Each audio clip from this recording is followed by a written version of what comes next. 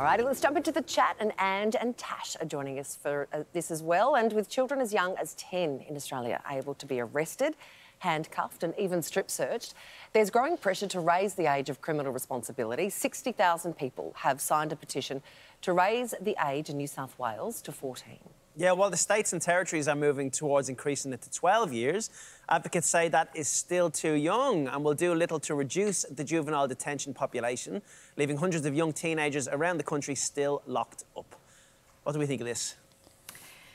Yeah, uh, it is terrifying to think yeah. of children as young as 10 being locked up. And when you look at the figures in New South Wales, and this is the key point 43% of the children incarcerated in New South Wales are, uh, are Indigenous. And, you know, that is wrong.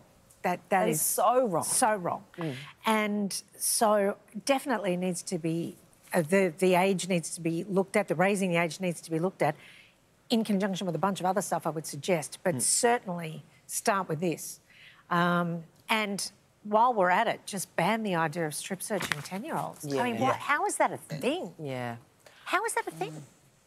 I couldn't agree more with you, Ange. And also, when we're putting children in institutions, they say, well, if you weren't a criminal when you went in, then you might be when you get out. Yeah, like some yeah. of the treatment and when they're exposed to, you know, kids who might have made one bad mistake and then they're exposed to kids who've made, a, you know, a lot more mistakes, and that's not helping the situation either.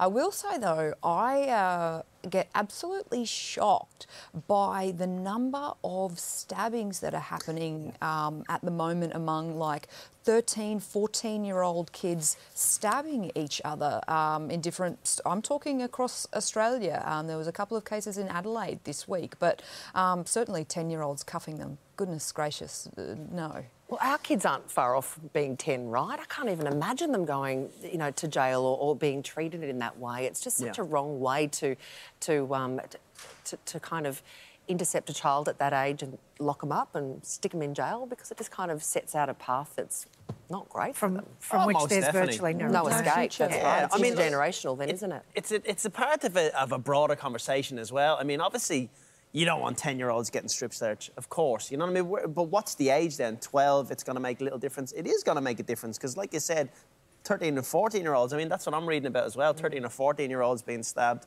And again, it's. But should they go to prison for that? Should, should they? Should they? Yeah. If someone's, if someone stabbed someone, if someone no. stabbed someone.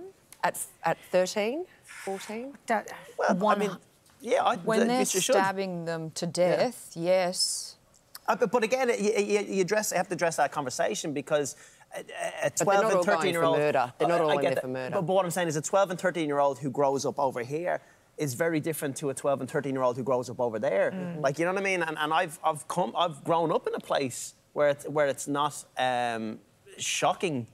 I mean, it is shocking, you know, but you're not surprised to see 13 and 14 year olds doing the same things that 27 and 28 year olds are doing. Well, you know, if dad's been to, to jail and it. uncle's been to jail, and it's that it's mm. that cycle that it's hard to break free from. So there's a, so there's a lot there's a lot in that conversation to kind of say what should what should we be addressing because we should be addressing children, and they are children at that age, committing particular things. Mm. But there's also something to address of, of what are these guys getting arrested for, mm. you know, and, and, and how do yes. You... There, there, are, there are some great community programs out there in, in various uh, parts of New South Wales and, and the country where children who are seen to be at risk in any way of, of getting in, if you like, with the wrong crowd, I suppose mm. is a loose way of putting it.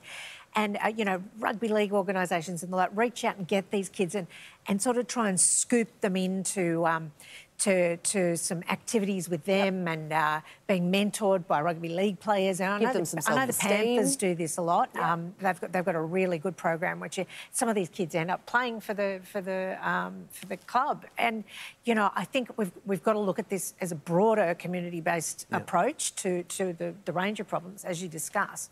But uh, I, I, do think raising that age is part yeah. of that, definitely. Yeah, absolutely. Yeah, and, and, I agree with you on that. And like I said, uh, jail and, and prison might not always be the answer, but removing people from certain environments, yeah. that, that, that has to be part of the broader conversation, or not gonna, nothing's going to change.